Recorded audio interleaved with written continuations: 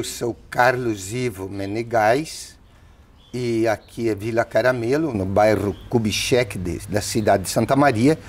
Eu moro há 25 anos aqui, desde o comecinho, não tinha nada disso aqui, né? E estou feliz porque vou dando a vida para muita gente que vai crescendo na região. Nos organizamos por aqui.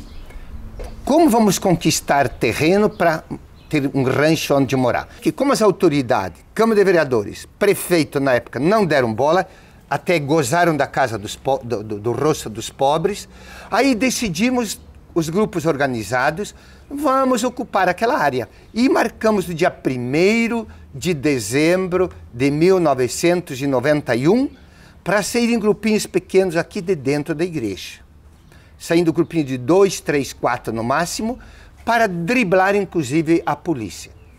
E madrugamos debaixo das estrelas, deitado no chão, até dia seguinte a gente poder então.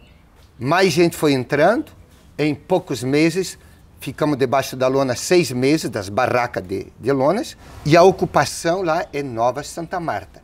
Já está, depois de 10, 15 anos, com cerca de 30 mil habitantes.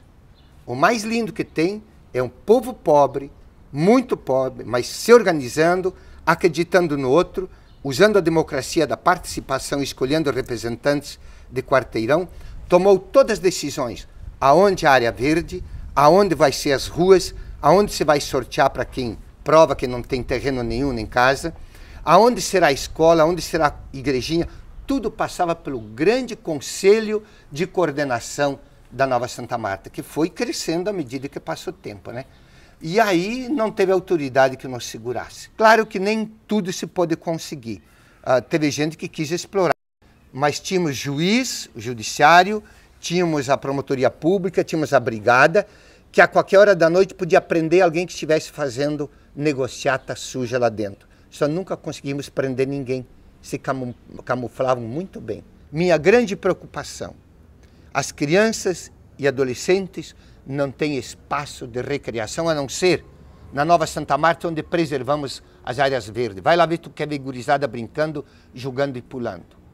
Onde preservamos, onde o povo se organizou e conseguiu fazer essas coisas. Mas tem problemas também. Nós, integrados com a natureza, somos uma unidade muito mais feliz. Cada um, cada uma no seu lugar. Aonde eu puder ser útil, vou continuar até que Deus quiser e a saúde e eu puder ajudar a conservar, não é? E, e, se chegar aos 80, 90 anos, ótimo, por que não? Meus tios chegaram na média 93 anos, 10, 12 deles. O senhor está com quanto agora? 72. Meu respeito.